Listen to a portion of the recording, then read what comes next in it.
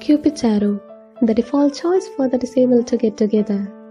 Yes, Cupid's Arrow is a completely accessible matchmaking platform for the disabled, designed by the disabled. It's very easy. Create an account, set up your profile, and start searching. Visit us at www.cupidsarrow.club.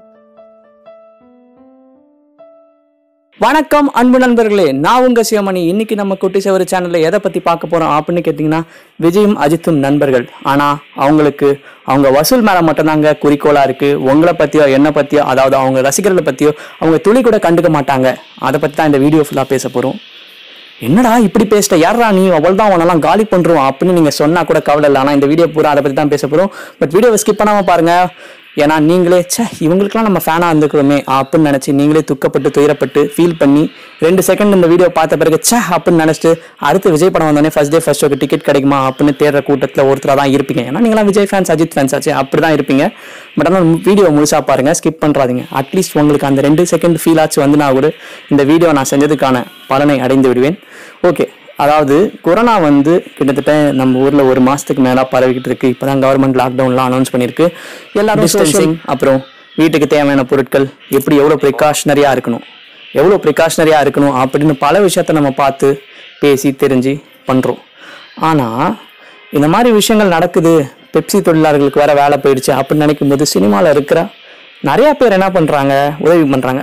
உதாரணத்துக்கு super star Vijay Sethupathi Sivakarthikeyan இவங்கெல்லாம் அவங்களோட படத்தில் அவங்க சொன்ன டயலாக்கையோ இல்லை வேறு ஏதோ ஒரு விஷயத்தையோ ட்விட்டரில் ஃபேஸ்புக்லலாம் போட்டு மக்களே சேஃபாக இருந்துக்கங்கப்பா அப்படின்னு சொல்கிறாங்க அவங்களுடைய சோஷியல் ரெஸ்பான்சிபிலிட்டியை ஒரு செலிபிரிட்டியாக அவேர்னஸ் க்ரியேட் பண்ணுறாங்க அப்புறம் அவங்களுக்கு பெரிய மனசும் இருக்குது அதனால் அவங்க எடுத்து அவங்கள்ட்ட இருக்கிற பணத்துலேருந்து மக்களுக்கு உதவுறாங்க.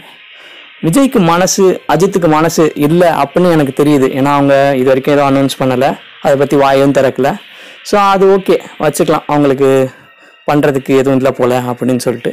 அது கூட கேட்கல ஏன்னா நம்ம அவங்கக்கிட்ட கேட்குற கேட்குற அதிகாரமும் நமக்கு அதெல்லாம் கிடையாது.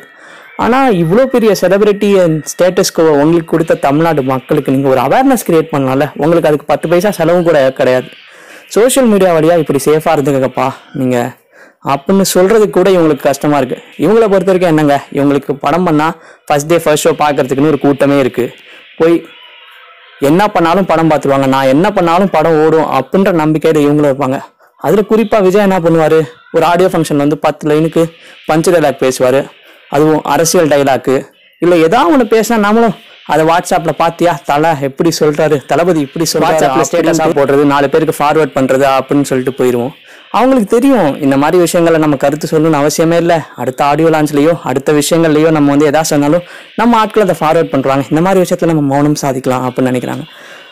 போன ஆடியோ லான்ச்சில் நண்பர் அஜித் மாதிரியே நானும் ட்ரெஸ் போடுறேன்னு சொன்ன விஜய் ரெண்டு பேரும் இந்த மாதிரியான விஷயங்கள்ல நம்ம கருத்தே சொல்ல வேணாம்னு நினச்சிருக்காங்க போல. அதனால ரெண்டு பேரும் அமைதியாக இருக்காங்க.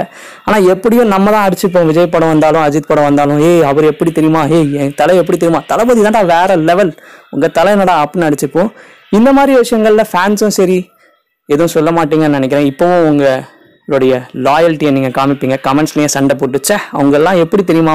இந்த யூடியூபே ஒரு இந்த யூடியூப் சேனல் இப்படி மட்டமான சேனல் தான். எப்படிலாம் கண்டென்ட் ப்ரமோட் பண்ணுறாங்க பாரு அப்படின்லாம் சொல்லுவீங்க. நடக்கிற நிஜத்தை உண்மையை அவங்கள்ட்ட சொல்கிறது தான் எங்கள் யூடியூப் சேனலோட நோக்கம். அதனால் நாங்கள் நாங்கள் விஜய் ஃபேனாகவும் இருந்தாலும் அஜித் ஃபேனாகவும் இருந்தாலும் எங்களுக்கு தவறு ஏன் இப்படி இருக்காங்கன்னு தோணுச்சுன்னா கண்டிப்பாக அதை சொல்லுவோம். மக்கள் முன்னாடி எடுத்துகிட்டு வந்து வைப்போம். நீங்கள் என்ன நினைக்கிறீங்க? விஜய் ஃபேனா அஜித் ஃபேனா அவங்க ஃப்ரெண்ட்ஸாக தான் இருக்காங்க. இந்த மாதிரியான விஷயங்களில் ஒன்றா செயல்படுறாங்க. நீங்கள் எப்படி செயல்பட போகிறீங்க முடிஞ்சா ஒரு படத்தை பாய்காட் கூட பண்ணுங்க பார்க்காம. ஆனால் பண்ண மாட்டீங்க. ஓகே இருந்தாலும் பரவாயில்ல. பார்ப்போம் என்ன பண்ணுறீங்க அப்படிங்கிறத உங்களோட கமெண்ட்ஸில் நீங்கள் சொல்லுங்கள் நாங்கள் தெரிஞ்சுக்கிறோம். அடுத்த வீடியோவில் உங்களை சந்திக்கும் வரை உங்களிடமிருந்து விடைபெறுகிறேன்.